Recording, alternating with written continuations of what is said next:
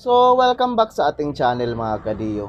Viral ngayon sa social media ang inilabas ng political vlogger na si Maharlika na larawan ng umunoy ebidensya na nagpapatunay sa lehitimong operasyon noon ng Philippine Drug Enforcement Agency or PDEA laban kay Ferdinand Bongbong Marcos Jr. Nakasaad sa inilabas na ebidensya ni Maharlika na noong March 10, 2012 ay nagkaroon ng operasyon ang PDEA sa Unit 46-C Rizal Tower Building, Barangay Poblacion, Makati City. Ang target, si Bongbong Marcos Jr. alias Bunget.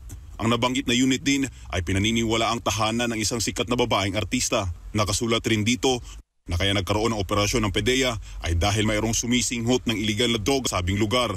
Ang expose na ito ni Maharlika ay umani ng samot-saring reaksyon mula sa mga Pilipino at ilang araw nang naging usap-usapan. Agad naman itong sinagot ng PIDEA sa kanilang social media post at sinabing AI generated o gawa-gawa lang ang larawang inilabas ni Maharlika at sinabing sa modernong panahon ngayon ay madali na lang makagawa ng peking pictures o videos at peking dokumento. Pero sa panayam ng DZAR Sons Radio kay Maharlika, sinabi nito na para hindi mapahamak ay sinuri niya muna ng mabuti ang nasabing ebidensya bago niya ito isinapubliko. So itong ano na to, itong tungkol sa PIDEA, so nung sinend sa akin, binerify ko pa po yan. Sa dami kong puting ahas, binerify ko yan kasi baka masunog ako eh. Baka mamaya ilabas natin, gawa-gawa lang pala. Mm. Kaya bago ko po nilalabas yung mga dokumentong ito, I know for a fact na ito ay hindi AI generated. Ito ay totoong may dokumento.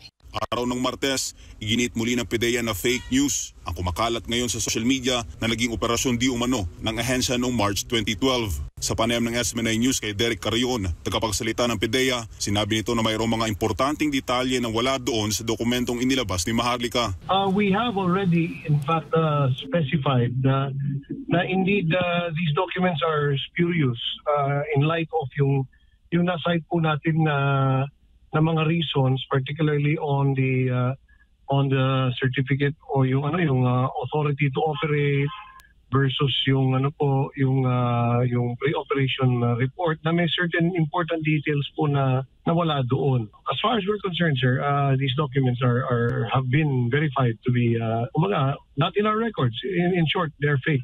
Wala rin anyang control number ang dokumentong inilabas ni Maharlika kaya wala itong basihan. As far as our certification dated April 4 is concerned, sir, we have cited yung basis po natin for declaring itong mga documents nga po na, ano, na, na spurious. For one, authority to operate and the pre-operation report do not have any control numbers. So, in short, this was never entered into the National Operations Center. Yung uh, item 6 and uh, in the authority to operate, particularly yung noted by, eh, wala. Eh, ano po eh, uh, intentionally covered or redacted. So we cannot verify. I, and likewise, doon naman po sa item 7 and 8 ng authority to operate or coordination made by and received by, ganun. As, uh, wala rin. Hindi rin po na ano, maga, hindi rin po ma natin ma-verify. Ngunit sinabi ni Maharlika na sumulat na sa tanggapan ng PIDEA ang agent na pumirma sa lehitimong operasyon at handa umano itong humarap sakali ipatawag para maimbestigahan. And also, nagsalita na nga din po itong ah, si agent na totoo na may mayroong raid dapat. Kaso lang, pinigil. Okay? Pinigil yung operation na yon. So, ito lang po ang ating news update ngayon mga kadiyo and please comment down below kung ano ang masasabi nyo sa video na ito and please pakisupport naman ang ating Facebook page para magpatuloy pa tayo sa paggawa ng bagong news update. Maraming salamat po at magandang araw.